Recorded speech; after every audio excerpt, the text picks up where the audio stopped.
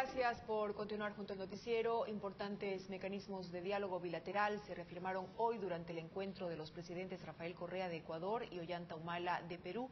Gardenia Lizalde desde la localidad fronteriza de Arenillas nos da detalles de la actividad que contó con la participación de ministros de Estado y otras autoridades. Tenemos detalles. Gardenia.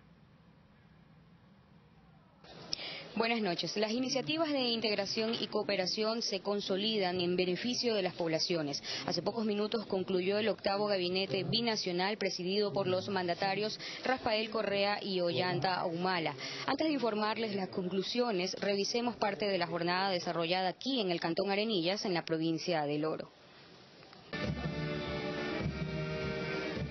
Honores militares, el presidente de Perú, Ollanta Humala, fue recibido en el aeropuerto regional Santa Rosa. El acto de bienvenida estuvo encabezado por su homólogo ecuatoriano, Rafael Correa. Posteriormente, los jefes de Estado cambiaron la ropa formal por algo más cómodo. Junto a sus comitivas emprendieron un recorrido de 25 kilómetros a bordo de bicicletas.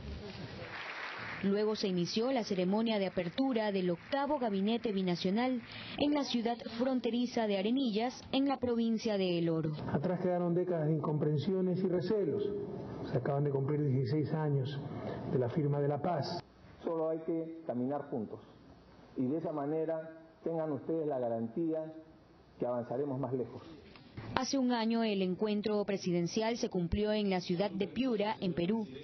Se lograron varios acuerdos en materia de infraestructura, defensa y salud. Hemos planificado la ciudad binacional, Huaquilla, Aguas Verdes.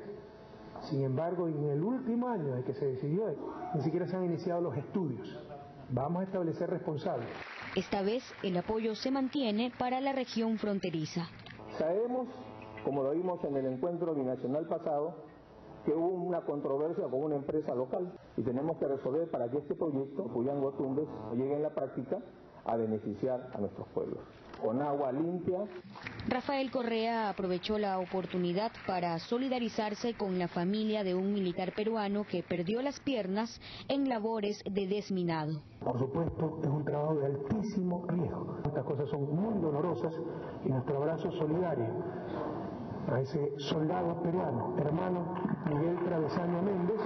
En otro tema, Ollanta Humala aseguró que para una verdadera paz falta trabajar en política social.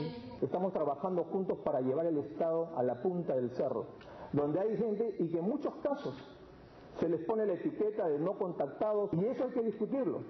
No tenemos el derecho de condenarlos a la pobreza.